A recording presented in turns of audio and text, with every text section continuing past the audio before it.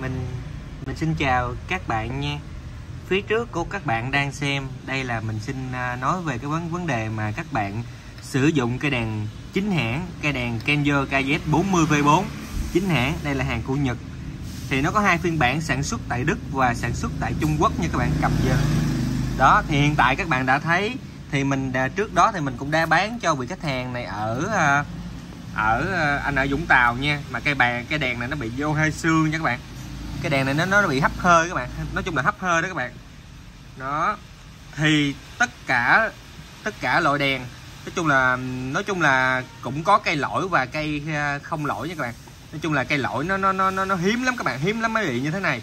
Thì à, hãng Kenzo đề nghị mình là thu hồi cái này về liền luôn. Đây là cây cây cây cây này là chính hãng nha các bạn nha. Các bạn thấy cái cái ờ, cái nó mờ rồi các bạn? Các bạn thấy nó mờ hẳn không?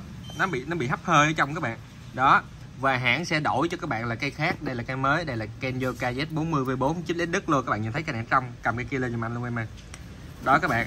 Đó cái lợi ích mà các bạn chọn một cây chính hãng các bạn chơi thì nó được lợi ích như thế nào?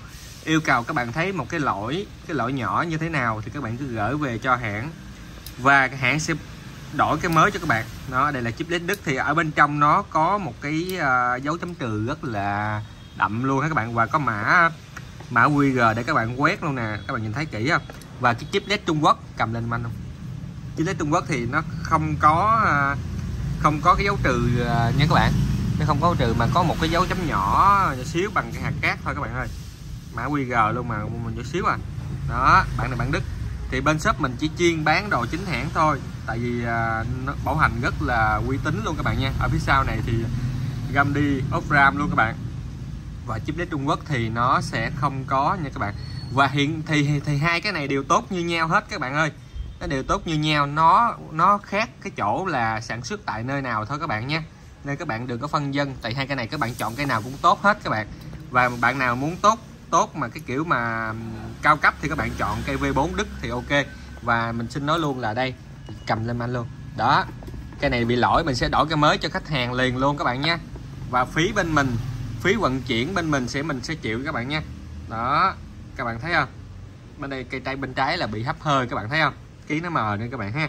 Đó hãng sẽ thu về và đổi cây mới cho các bạn. Rồi cảm ơn các bạn rất là nhiều đã xem hết video. À, bạn nào có nhu cầu làm thì à, xin liên hệ shop mình là địa chỉ là 235C đường Phan Anh phường Bình Trị Đông quận Bình Tân nha. Số điện thoại là 034 666 9686 các bạn nhé số điện đây mình có đăng ký Zalo, các bạn cứ inbox Zalo để mình tiện tư vấn cũng như trao đổi cho các bạn dễ hiểu hơn về những cái đèn cao cấp nha các bạn.